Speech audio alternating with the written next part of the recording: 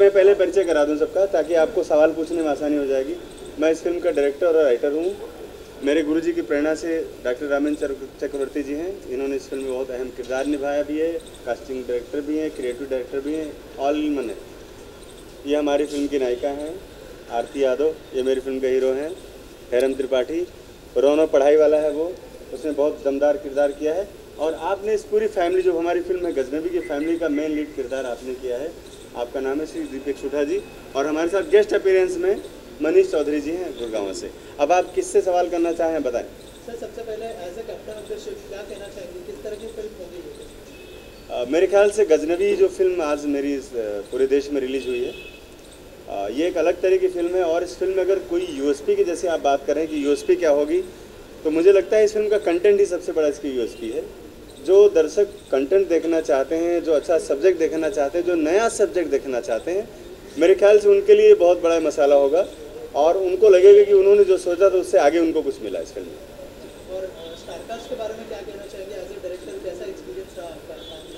बहुत अच्छा एक्सपीरियंस था और चूँकि हम लोग काफ़ी सालों से एक दूसरे को जानते भी थे उसके बाद भी हम लोगों ने जो ऑन स्क्रीन जब स्क्रीन शेयर किया तो बहुत सारी चीज़ें होती हैं ना आपस में कि एक मिक्सअप होने का एक दो दिन का टाइम लगता है कि एक इन, एक दो दिन के अंदर ही हम लोगों ने इतना अच्छा बॉन्डिंग की अपनी और एक अच्छे पर्टिकुलर जगह में, अच्छे लोकेशन पे हम लोगों ने फ़िल्म को शूट किया। और ये मुझे पहली बार ऐसा लगा, मेरी सत्रहवीं फ़िल्म है लेकिन मुझे पहली बार ऐसा लगा कि मैं फ़िल्म नहीं बना रहा हूँ, जबकि अपने फैमिली के साथ हूँ। मतलब एक डायरेक्टर जो कूल माइंड होकर के सिर्फ़ अपने काम पर जो फोकस करेगा, उस तरीके से मैंने फ़िल्म को बनाया है। मेरे पर एक्स्ट्रा कोई बर्डन नहीं आया, क्योंकि सारे आर्टिस्ट मेरे साथ जो स्टार कास्ट थी बहुत कोऑपरेटिव थी और उन्होंने मेरे साथ बहुत ही दिल से काम किया। एक्टर्स के एक्टर्स से जानना चाहूँगा कि आप लोगों का एक्सपीरियंस कैसा रहा और फाइनली अब रिलीज़ हो गई है फ़िल्म कैसा रिस्पॉन्स मिल रहा है? क्या कॉम्प्लीमेंट्री मिल रहा है? अ, सच बताऊँ तो रिस्पांस उम्मीद से भी बेटर है और रहा सर के साथ काम करने का तो हम जान पहचान हमारा बहुत पहले से था लेकिन इस फ़िल्म के ज़रिए मुझे पता चला कि जितने अच्छे ये दिखते हैं उससे अच्छे एक टेक्नीशियन है डायरेक्टर है।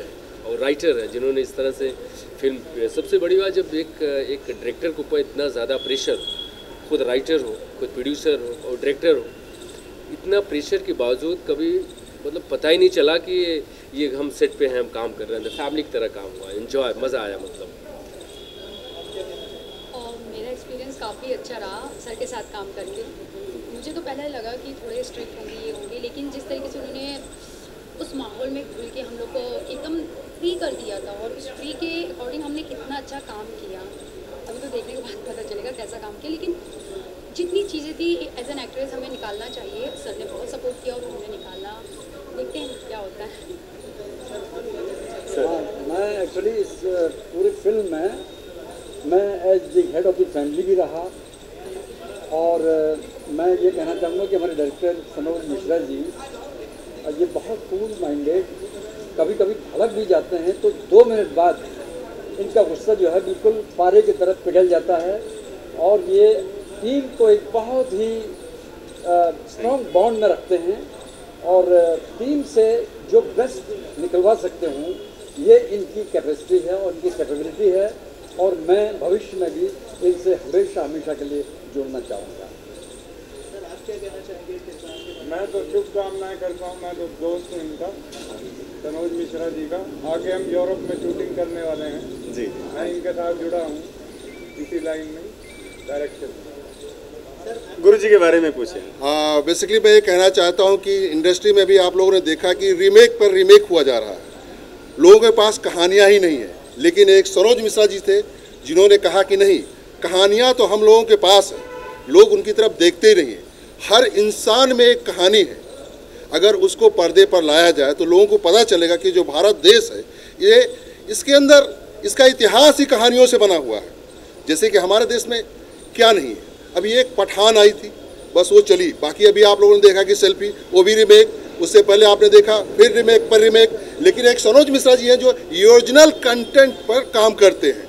वो उन विषयों को चुनते हैं, जिनको समाज ने दरकिनार कर दिया या इतिहास के पन्नों पर वो कहीं ना कहीं गुम हो गए हैं। वो त्रासदियों को बाहर निकालने की कोशिश कर रहे हैं, जिससे कि आम जनता को पता चले कि हमारे देश के इतिहास के पन्नों पर क्या क्या हुआ है और किस प्रकार से हमारे देश के उन नायकों को रक्त रंजित कर दिया गया है और फिर वो इतिहास के पन्नों पर खो गए।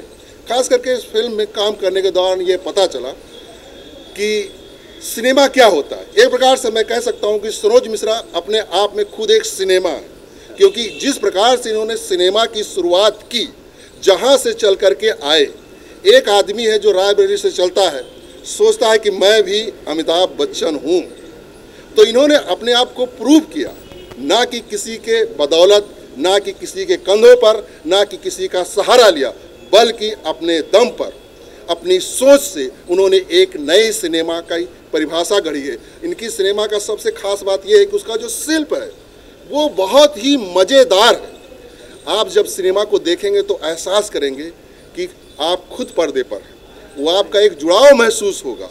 आपको लगेगा, यार, ये हमारे बीच का ही तो किरदार है। कहीं मैं तो ही नहीं हूँ। तो आज की तारीख में जब आप देखते हैं कि बॉलीवुड का जो सिनेमा आप देख रहे हैं, उसके किरदार कहीं ना कहीं इस समाज से मिस हो चुके हैं। वो कहीं से उठा कर ले आ रहे हैं।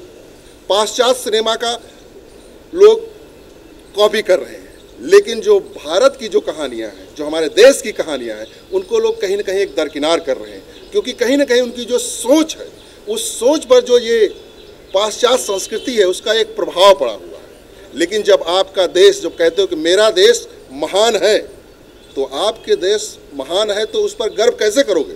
जब तक आप अपने बच्चों को, आने वाली पीढ़ी को बताओगे नहीं कि हमारा इतिहास है जिसमें आप साँसें लेते हैं जिसमें आप जीते हैं वही तो आपका इतिहास है। लोगों तक तो पहुँचना चाहिए। तो सनोज मिश्रा जो एक हमारे फ़िल्म के डायरेक्टर हैं निर्माता हैं और लेखक हैं मतलब एक कह सकते हैं कि सब कुछ यही है सर्वत्र है। हम सब उस नाव पर बैठे हुए हैं जिसकी कमान सनोज मिश्रा के हाथों में thank you so much thank you so much thank you किस तरह का रिस्पांस मिल रहा है फ़िल्म रिलीज़ हो गई आ, मुझे अभी तक जहाँ तक जो पहला शो चला है वहाँ से अभी इंटरवल के बाद मुझे बहुत सारे फ़ोन आए। फ़ोन इतने ज़्यादा आ गए क्योंकि सी सर्किट में जो फ़िल्म का जो उठान हुआ है उस उसमें मुझे बहुत सारा लोगों का अच्छा रिस्पांस मिला। और मैं इतना शॉक्ड हो गया मैं खुद नहीं सोच पा रहा हूँ कि आ, ये इतना अच्छा कैसे हो गया। मतलब मैं चूँकि मैं हमेशा अपनी चीज़ों को अंडर एस्टिमेट करता हूँ लोग मुझे इस बारे में बुरा बोलते हैं कि आप अपने आप को अंडर एस्टिमेट मत करो। लेकिन मुझे लगता है कि मैं करता हूँ। और मुझे लगा कि मेरी फ़िल्म शायद पता नहीं क्या हो, क्या ना हो। बहुत सारी चीज़ें चार पाँच दिन से दिमाग में चल रही थी। लेकिन दोपहर में जिस तरह से रिस्पॉन्स आना शुरू हुआ है, जिस तरह से लोगों के बारह बजे के शो के बाद जो मुझे लोगों के कॉल्स आए, और जो पब्लिक जिस तरह से लोग जा रही है एक दूसरे से जो पब्लिक माउथ पब्लिसिटी हो रही है तो मुझे लग रहा है कि मैंने जो सोचा था शायद मैं उससे कहीं आगे हूँ। और सब मीडिया भाइयों का, मेरे कलाकारों का, मेरे गुरु जी का, मेरे बड़े भाई का, मेरे, बड़े भैया चौधरी जी का, सबका बहुत बहुत आशीर्वाद है मेरे ऊपर। और आज मैं एक पहले एग्ज़ाम जो मैंने दिया है फ़र्स्ट एग्ज़ाम में बतौर एज ए प्रोड्यूसर तो मुझे लग रहा है कि मैं विन करने जा रहा हूँ मैं लीड करने जा रहा हूँ क्योंकि हमारी फ़िल्म बहुत अच्छा परफॉर्म कर रही है और थिएटर में इसकी बहुत ज़्यादा डिमांड है। हर सिनेमा मालिक इस फ़िल्म को लगाना चाह रहा है यही मेरी जीत है। Thank you yes yes thank you so much thank you so much